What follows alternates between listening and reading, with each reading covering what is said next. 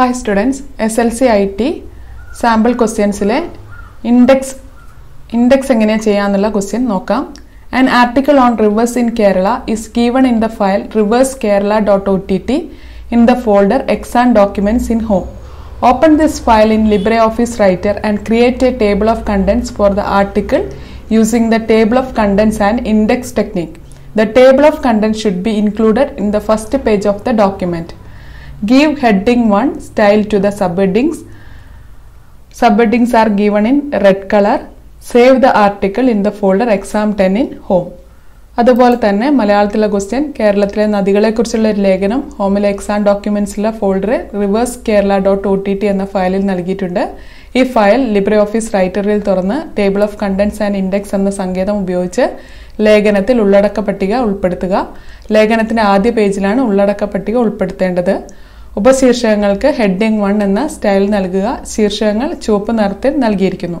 അപ്പോൾ ഇത് ഓപ്പൺ ചെയ്യാൻ വേണ്ടിയിട്ട് നമുക്ക് ആദ്യം തന്നെ പ്ലേസസിൽ ഹോം ഓപ്പൺ ചെയ്തു. ഇവിടെ exam ഡോക്യുമെൻസിൽ rivers Kerala dot O T T എന്നുള്ള ഈ ഫയൽ ഓപ്പൺ ചെയ്തു. അപ്പോൾ ഇവിടെ ഫസ്റ്റ് പേജിൽ ഇവിടെയാണ് നമുക്ക് ഇൻഡെക്സ് കൊടുക്കേണ്ടത്. ഇവിടെ ഓരോ ഇതും ഹെഡിങ്ങും നമുക്കിവിടെ റെഡ് കളറിൽ തന്നിട്ടുണ്ട്. അപ്പോൾ ഹെഡിങ് വൺ എല്ലാം എന്താണ്? Give heading one style to the sub heading അപ്പോൾ ഇവിടെ തന്നിരിക്കുന്ന ഈ ഹെഡിങ്ങുകളൊക്കെ നമ്മൾ സെലക്ട് ചെയ്തിട്ട് ഹെഡിങ് വൺ എന്നുള്ള സ്റ്റൈൽ ഒന്നെങ്കിൽ ഇതാ ഇവിടെ സ്റ്റൈൽസ് എന്നുള്ളത് എടുത്തിട്ട് നമുക്ക് എന്ത് ചെയ്യാം? ഹെഡിങ് എന്നുള്ള ഓപ്ഷൻ എടുത്തു. ഇവിടുന്ന് ഹെഡിങ് വൺ എന്നുള്ളത് സെലക്ട് ചെയ്യാം. ഇല്ലെങ്കിൽ ഇവിടുന്ന് സെലക്ട് ചെയ്യാം. ഈ ഇത് സെലക്ട് ചെയ്തിട്ട് ഇതാ ഇവിടെ മുകളിലായിട്ടും ഉണ്ട്.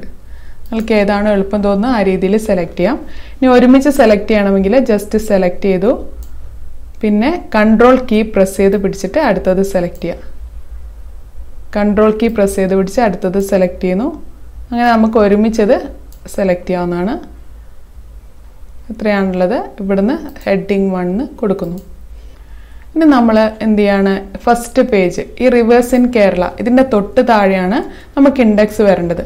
അപ്പോൾ എവിടെയാണ് ഇൻഡെക്സ് വരേണ്ടത് എന്നുള്ളത് നമ്മളൊന്ന് കേഴ്സർ സെറ്റാക്കി വെക്കുന്നു. ഇനി നമ്മൾ എന്ത് ചെയ്യുക ഇൻസേർട്ട് എന്നുള്ള മെനുവിൽ ഇവിടെ ഇതാ table of contents and index എന്നുള്ളത് ടേബിൾ ഓഫ് കണ്ടൻസ് എന്നുള്ളത് സെലക്ട് ചെയ്യുന്നു. അപ്പോൾ ഇങ്ങനെ ഒരു ഓപ്ഷൻ വന്നിട്ടുണ്ട്. നമ്മൾ ചേഞ്ചസ് ഒന്നും വരുത്തുന്നില്ല. ഓക്കെ എന്ന് മാത്രം പ്രസ് ചെയ്യുന്നു. അപ്പോൾ നമ്മൾ ഈ ഹെഡിങ് വണ്ണിൽ കൊടുത്തതൊക്കെ എന്തായിട്ടുണ്ട്? ഇൻഡെക്സ് ആയിട്ട് ഇവിടെ വന്നിട്ടുണ്ട്. ഓക്കെ ഇനി നമ്മളോട് ഇത് സേവ് ചെയ്യാനാണ് പറഞ്ഞത്. ഫയലിൽ സേവ് ആസ് എന്നുള്ള ഓപ്ഷൻ എടുത്തു. ഹോമിൽ എക്സാം ടെന്നിൽ നമ്മൾ register number